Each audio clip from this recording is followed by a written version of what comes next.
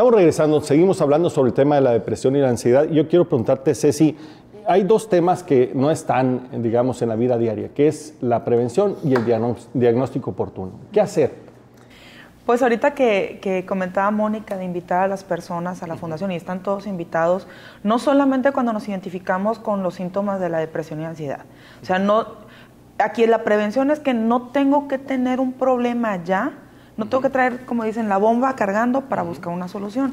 Entonces, los invitamos a que se acerquen. Es como una especie de vacuna. Exactamente. Los invitamos a que se acerquen a la fundación para que aprendan un poquito más cómo nos podemos eh, cuidar a nosotros mismos, autoconocer y ser un poco más felices. No tenemos que venir llorando o en un mal estado. En la fundación tenemos también eso. Estamos preparando programas para invitar a las personas a que se cuiden y que sepan cómo tener un ¿Qué control. tipo de programas tienen? Pues ahorita estábamos diseñando uno de autoestima para sobre todo jovencitas entre 17, 20 años que traen un problema muy suave con el espejo, ¿no? Que no me gusta y las veces son preciosas, pero ellas no se ven, ¿no? Porque estamos muy enfocados en el afuera, en la revista, que el Photoshop no nos ayuda en nada en, nuestra conciencia con el espejo.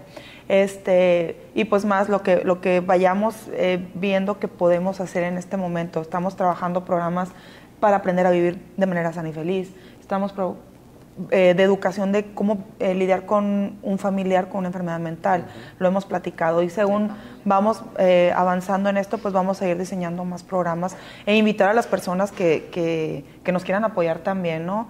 Entonces, la invitación abierta a todas las personas que vayan a MAPA, si gustan ser voluntarios, si quieren ayudarnos en algo o simplemente conocer.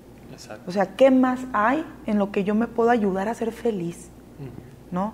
Que no sea algo material. ¿Qué más puedo? Eh, que, nos demos una ojeadita, una plática, que nos regalemos eso para empezar con nosotros. Y eh, no conformarnos con que así estoy bien. ¿no? Sino yo les digo a la gente, sentir ese, ah, ese entusiasmo, esas ganas por vivir, esas ganas de, sí, quiero ser feliz, soy feliz, ¿no? Entonces es también un aprendizaje. En mi caso, yo ayudo a las personas a aprender a ser felices porque yo aprendí a ser feliz. Teniéndolo todo, no lo era. Entonces aprendí a ser feliz, aunque no lo tenga todo, porque pérdidas siempre van a haber.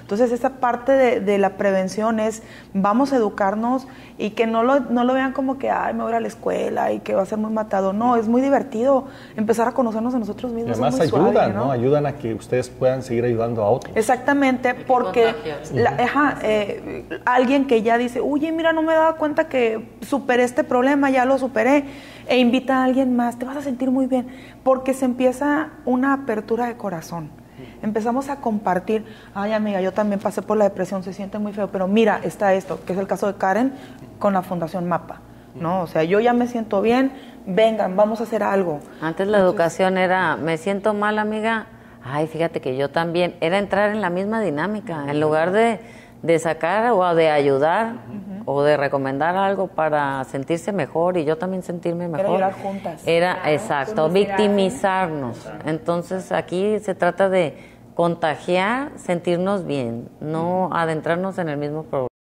Nada más esta, esto como algo, ay, depresión. Y, puede ser un buen regalo a, un ser que uno quiere, ¿no? Darse la oportunidad de entrar a este proceso de prevención para que pueda incrementar su y un regalo Y un, regalo, para nosotros, un regalo para nosotros porque la gente nota la diferencia de cuando me siento bien a cuando me siento entusiasta, ¿no? no sé qué traigo y empiezan a fluir ideas, empieza la creatividad, de pronto me empieza a ir bien y aunque digan que haya mucha escasez de dinero, me empieza a alcanzar el dinero, ¿no? ¿Por qué? Porque es mi propia energía, es mi propio valor personal que se ve reflejado en mi exterior.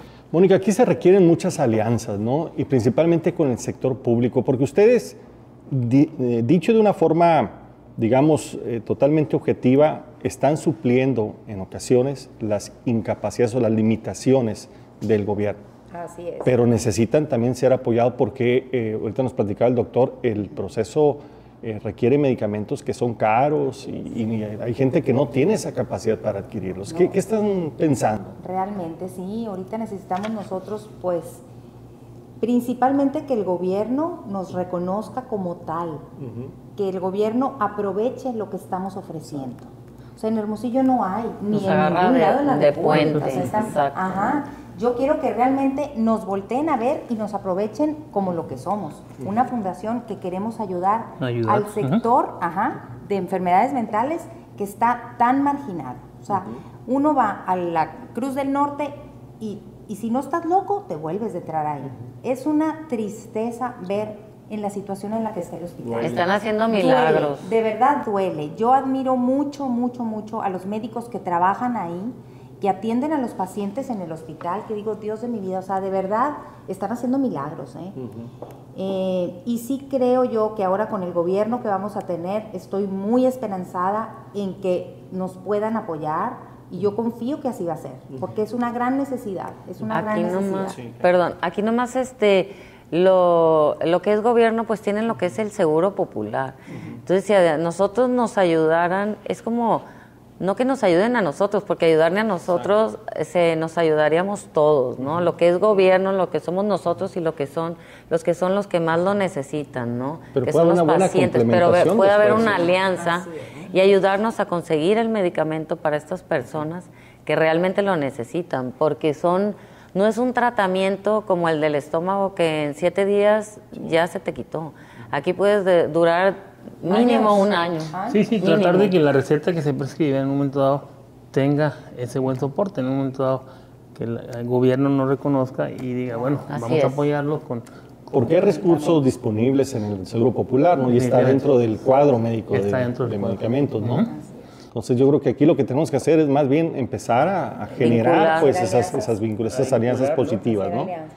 Pero también hay que hacer un llamado a la sociedad, hay muchas necesidades de voluntarios, donaciones que se puedan recibir, porque nunca los recursos son suficientes para el tamaño de esta tarea, ¿no? y a veces no hay cultura en la donación, no hay cultura y el, de veras, el, el ayudar ayuda, o sea, el dar realmente de corazón es, es ayudar y con unos cuantos pesos estás ayudando a mucha gente.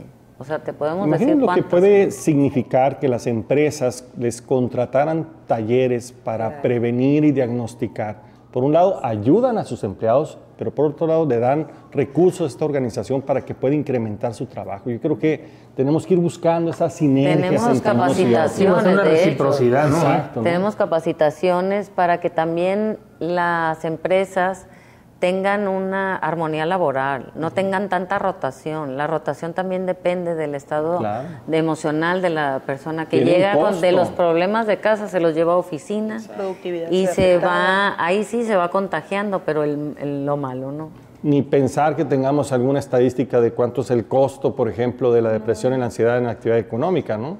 Es altísimo, ¿no? El, costo día hombre laboral en un momento dado es altísimo, ¿no? Y sobre todo la incapacidad, que se genera por un cuadro depresivo. Entonces, si lo viéramos en números, si tuviéramos esa estadística real, ¿no? Sería... Pero qué fácil sería, pues, porque si bien el tema es, es bastante importante, pues hay capacidades, ¿no? Y hay deseos también de la sociedad de inscribirse en ese esfuerzo. Nos cuesta mucho trabajo unir cables, ¿no? Decir, vamos juntos, ¿no? Siempre, es que siempre quieren ser solos y la verdad aquí, como, como dirían, este, ya se oye trillado, la unión hace la fuerza, pero es real, o sea, si nos unimos con otras asociaciones, o sea, no queremos ser una sola, sino generar alianzas con gente también de que tienen como eh, problemas de parálisis cerebral, que tienen familiares similares. Exacto, nosotros podemos ayudar a ese familiar. Sí, yo creo que es algo claro, que no se viene a competir, se viene a sumar, se viene a asociar, se viene a ayudar. ¿no? Y eso es lo que se llama participación eh, ciudadana. La participación ciudadana no es una fotografía donde todos están contentos y se hace finalmente lo que el gobierno quiere, sino más bien vincularse, tomar juntos decisiones, sumar esfuerzos para resolver problemas. Que la medalla sea de todos, no de una sola persona. Es de la sociedad, ganamos todos. Me gustó mucho. Eh, Fíjate lo, lo, que es la iniciativa de una persona, porque a lo mejor todos tenemos ganitas de hacer algo bueno, pero se requiere de una persona valiente, ¿no? El caso, en, este caso sería Karen, porque por ejemplo, a mí cuando me invitan a participar, que yo también tengo ya años en, en esto trabajando, también la agarramos desprevenida. Sí, también, por la experiencia vivida y todo, y porque también tratando de hacer mi aporte por mi lado, ¿no? Pero te digo, siempre falta alguien que dé el empujón y, y, y cuando me exponen el proyecto, yo en ese momento me enamoro porque es que todo lo que podemos ayudar. Y entonces, ¿qué pasa? Empiezas a llamar a toda la gente que conoces y les expones y se empiezan a enamorar del proyecto porque ve todo lo que podemos ayudar. Porque yo creo que tenemos sed de vivir felices, de tener una buena sociedad, de ver un hermosillo, en este caso aquí, eh, pero en Mazatlán, en México, en todo nuestro país, de, de estar felices en una sociedad tranquila, pues, ¿no? Y ese es el aporte que podemos ir haciendo uno por uno de nosotros. Algo que se nos ha olvidado, que no hay actividad que sea más placentera que ayudar a los demás, ¿no? Te da es mucho. otra forma de ser feliz. Exacto, ¿no? Que se nos ha olvidado de pronto, y ¿no? se te multipliquen bendiciones, eso está comprobado. Que era lo que estábamos viendo, como Mapa Hermosillo, por ejemplo, se formó en un abrir y cerrar de ojos, ¿no? O sea, se nos fueron dando... ¿Cuánto tiempo lo crearon? Eh, Pues en 15 días. 15 días. En 15 días. Se rentó la casa y a los 15 días Qué valor, ¿no? Qué valor, qué valor de mujeres así.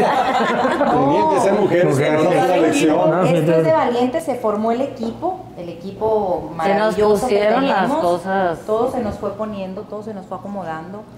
Y en 15 días armamos esto y ya vamos a tener un mes. Si Dios quiere, el viernes cumplimos un mes que se abrió. Fíjate la capacidad que hay en la sociedad cuando se dispone, cuando se activa, ¿no? Para hacer cosas. Así es, Muy bien, estamos, estamos hablando del tema de la depresión, la ansiedad. Vamos a regresar un momento más con ustedes.